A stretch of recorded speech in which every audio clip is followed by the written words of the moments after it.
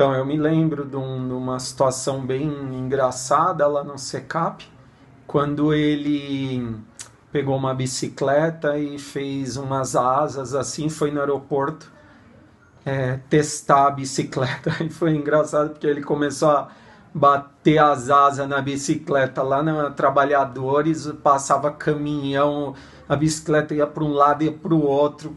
Meu Deus do céu, um perigo. E foi o que ele quis, quis desenvolver, uma, uma, um artefato lá que conseguisse voar na bicicleta. Coisa assim, bem fora do comum, mas foi engraçado no dia, eu achei muito interessante e fiquei preocupado que quase foi para o meio da pista com aquela bicicleta doida lá de asa.